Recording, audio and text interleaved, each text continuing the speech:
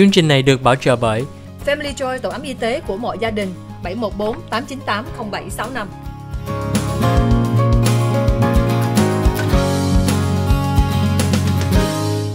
Hi, welcome back to the OC Health and Education Show on Little Saigon TV. I'm your host, Julie Yip. On our program today, we have Tom, Senator Tom Umberg to talk about the 10, uh, $10 million grant or budget that's set aside for the dual language immersion program. But I also wanted to highlight, you know, three resolutions that, that Senator Umberg has, has been able to do to help the Vietnamese community. Um, the first being to recognize Black April, also the Vietnamese Armed Forces Day, and for King Hung Vuong. À, Julie cảm ơn quý vị khán giả của Little Saigon TV trong chương trình kiến thức y khoa gia, gia đình và xã hội. Hôm nay Julie có thời gian nói chuyện với Senator Tom Umberg, đã là thượng nghị sĩ Tom Umberg. Julie muốn chia sẻ với với quý vị về một cái budget 10 triệu dollars để cho giúp cho chương trình song ngữ. Mà thêm nữa có thời gian nói chuyện chi tiết thêm về cái uh, cái Senate Bill Resolution, đó là ba ba sự kiện lớn trước là cái um, tháng tư đen là Black April thêm nữa là the Vietnamese Armed Forces Day and cái thứ ba đó là uh, King um, Hùng Vương. Uh, Senator Umberg, thank you so much for setting aside your valuable time to come onto the show today. I know that uh, it's a great opportunity for the community to meet you, to see who you are as a human, but also to know what you've done in the community. Yeah. You know, because many times, you know, when I meet my elected officials, they're just so far away from me. I never feel like I had a chance to really sit down. So I just want to say thank you for setting a time to, to sit down with me and with our viewers at home for Little Saigon TV to, to learn more about so many things that you've done. Well, thank you. Um, our job is to serve. Just like your job is to serve, our job is to serve our constituents. And I'm blessed to have a very large Vietnamese American constituency. And so having an opportunity to talk a little bit about what we do and how we can be helpful, that's, uh, that's wonderful. Now, um, I know the main reason that I want you here because I want to learn more about that $10 million budget that is set aside for dual language immersion program. I know you called it an enrichment program. So what do you mean by enrichment program? Well, uh, a couple things. One, Orange County leads the way in dual language immersion with respect to Vietnamese language and English. Garden Grove School District, Anaheim School District, and importantly, Westminster School District all have dual immersion programs. Uh, the $10 million set aside for them to be able to access that money is to enhance and enrich the program. And here's why. Um, I'm second generation uh, American, and I've lost the language of my grandparents. And that's a shame because that means that I, when I was young, I couldn't really communicate with them. I lost some of the culture. And the Vietnamese culture and the Vietnamese history, particularly at this time in history, is very important to preserve. It's important that grandparents can tell their grandchildren and communicate their story of leaving Vietnam, their story of what was like in Vietnam. It's important for parents to be able to both educate their young people and to uh, communicate their values in their mother tongue. Because by doing that, it enriches obviously those young people, but as those young people interact with others, that improves our whole community. So it's an enrichment program. It's an enrichment program because we all benefit from, we benefit from the Vietnamese American community, but I, I mentioned while we were off the air, my yes. uh, granddaughter uh, went to, in San Francisco, went to Chinese school, and she picked up not just uh, some of the language, but also the culture. And she's so much better for it, and we're so much better for it. So I wanted to do that. I wanted to make sure that that we preserve um, the language, we preserve the culture, and we preserve a method for folks to be able to communicate, and so that young people also feel comfortable in their school environment. It can be intimidating, um, as, as I think your viewers know, to, to be in a school where um, you may not understand the language that's primarily spoken by others. And so we want you to be in a learning environment where you feel as comfortable as po possible and you can be the, the scientist, you can be the doctor, you can be the lawyer, you can be the engineer that's going to enhance all our lives someday. Well, thank you so much for putting that into perspective about what that looks like. You know, I, I was a refugee from the Vietnam War. So when we came here, my mom actually told me to not speak Vietnamese. She says, You're in a new country. I want you to learn a new language and I want you to be successful. So the whole time that my mom was with me on earth, I actually didn't speak Vietnamese.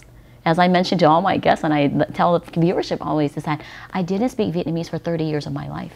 But at 30 years old, when I lost my mom, I actually learned to be closer to my community. I quit my job at Garden Grove Unified as a speech pathologist. I opened my own practice and I was forced to learn the language because all my patients that came to me, they spoke Vietnamese. They, they liked me even though I didn't speak Vietnamese, but I had I have a Vietnamese face, right? and I was a, I have a familiar face. And I think when someone trusts me, it actually made me want to learn the language more. And the more I did charity work and the more I started, you know, OC Autism, I went on Vietnamese television. And that's where I learned my Vietnamese. So, I mean, I'm so surprised that I'm here sitting with you hosting a Vietnamese talk show. But I love what you said and I recognize what you said the importance of unlearning the language because that one brought me back to my roots. I have a greater appreciation for Vietnamese language, food, music, culture, all of those I used to be embarrassed about growing up. So I would tell you, I recognize what you're saying. I, it's my lived experience. Mm-hmm. And, you know, um, I'm so proud to be sitting here with you because I was also part of the ad hoc campaign to start the Vietnamese English right. language immersion program that we at that point was calling it VLI. Mm-hmm. You know, and we were sitting amongst, you know, a, a table and, and, you know, at a, you know, boba shop with friends and just dreaming of this dream you know and i'm so proud that the program has grown the way it has um, i just had a very small you know impact and participation in the project but i love that this enrichment program mm-hmm. will help grow the program but more importantly not to help the vietnamese community and helping our children or our children's children to preserve the language the culture and the history but also to enrich you know our fellow americans mm-hmm. um, thank you again so much for that. And thank you for listening to my story of my language, you know, yeah. development and growth in the community. Well, it's important. It's a, it's an important story. It's an important story so that um, everyone understands why we benefit from, you know, projects like the dual language immersion. Yes. Thank you so much again, Don, uh, Senator Umberg. Uh, thưa quý vị khán giả của Little Saigon TV, hôm nay Julie có thời gian rất là đặc biệt nói chuyện với thượng nghị sĩ Tom Umberg.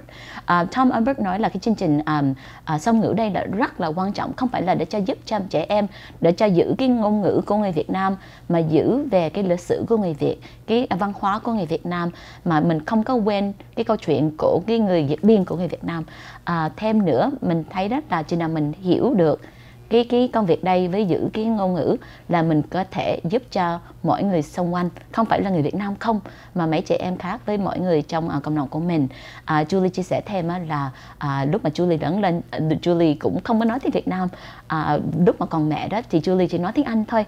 Mình có giống như nghe lời mẹ đó là học hành cho có có bằng gấp với có cái tương lai mà lúc mà Julie mất mẹ Julie thấy là lúc làm việc rất nhiều việc um, trong cộng đồng của mình mình mở phòng mạch mình có nhiều bệnh nhân Việt Nam với mình làm rất là nhiều việc thực thiện. Lúc đó Julie mới hiểu cái quan trọng để cho mình giữ cái ngôn ngữ của người Việt Nam về cái văn hóa của người Việt Nam với um, vân vân rất là nhiều việc với với thương mến uh, cái cái uh, quê hương của mình. Um, like I, I was mentioning that you know once I learned the language I learned to love my homeland. But I think that's one thing about it is now, you know, America is my new home. And, you know, no matter from the outside, maybe some people will never see me as an American. But I think for us, we as Vietnamese American know that we're American, mm-hmm. you know. Mm-hmm. And so we thank you for all that you, you've done. And, you know, um, I want to just segue quickly because I know uh, we're running out of time, but um, I know that you have uh, three Senate bill, um, Senate resolutions uh, that you, you, you shared in the community. And if you can briefly mention why did you do it and why do you think it's so important for us to recognize that? Well, I think it's important for all Californians to recognize the contribution of the Vietnamese American community. So that's why I introduced SCR 2 that commemorates, sadly, April of 1975, you know, the Black April Resolution, so that we know of the sacrifice and the courage and the struggle yes. that that the Vietnamese Americans went through to come here to the United States, and, and again, why we benefit from their entrepreneurial skills, their culture, their um, all, all, what they bring to our economy.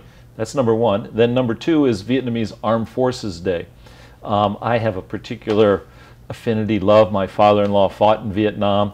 I spent many years in the military. My wife's in the military, and we should recognize the courage and the patriotism and the sacrifice of, of Vietnamese soldiers as well, Vietnamese uh, members, and then King Hong Vung, who was basically that recognizes as a cultural issue the founding of Vietnam, you know, many, many centuries ago. But it's important again that, that we as Californians recognize the heritage of the Vietnamese community.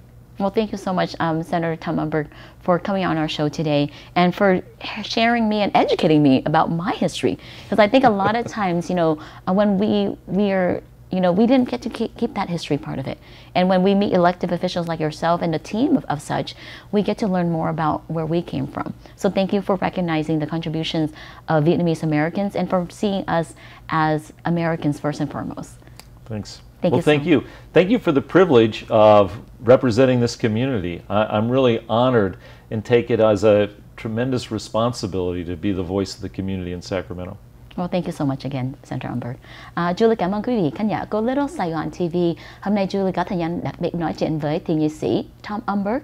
Tom Umberg cũng cảm ơn uh, mọi quý vị để cho uh, Tom đại diện cho cộng đồng của mình. Mà quan trọng nhất, Julie cảm ơn uh, Senator Umberg để cho uh, recognize cái uh, tháng đưa đen của mình với mọi người hy sinh cho uh, cái tương lai của của người Việt Nam của mình ở uh, Hoa Kỳ đây. Với thêm nữa uh, là mình hiểu về cái lịch sử của mình với cái uh, với King Hùng Hùng Vương. À, Julie cảm ơn quý vị khán giả của Little Saigon TV. Julie chúc quý vị rất nhiều hạnh phúc và sức khỏe. Cảm ơn quý vị khán giả của Little Saigon TV.